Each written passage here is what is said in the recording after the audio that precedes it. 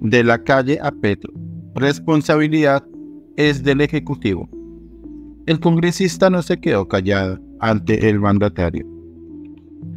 El presidente Gustavo Petro recientemente sentenció que si el Congreso no aprueba la jurisdicción agraria, lo que va a generar es el calentamiento de la olla a presión en los campos de Colombia.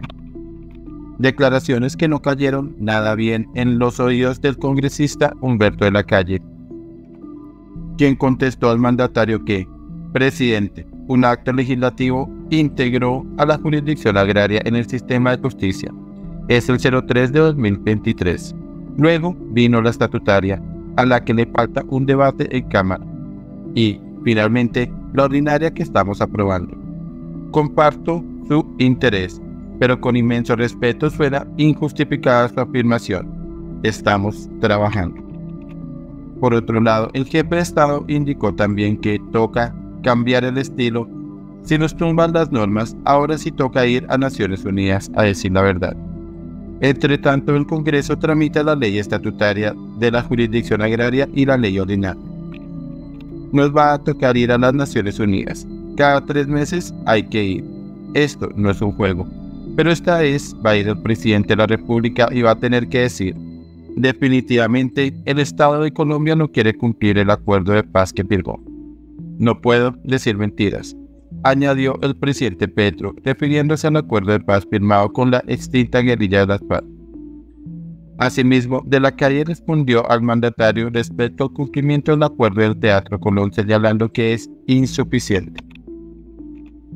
La responsabilidad ha recaído exclusivamente en el Ejecutivo.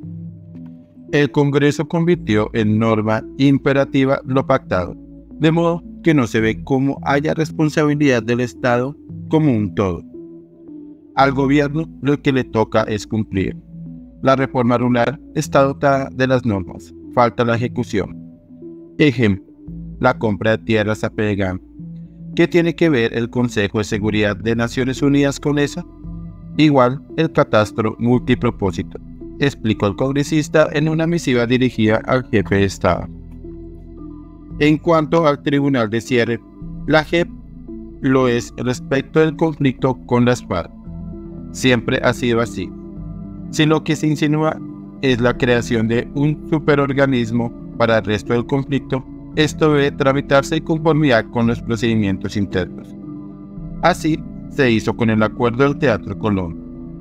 Muy grave, si es lo que se busca, es que una declaración del Ejecutivo termine generando toda una serie de normas de juzgamiento de conductas gravísimas, dejando por fuera a los órganos del Estado. Es necesario que el gobierno aclare este punto, concluyó de la calle.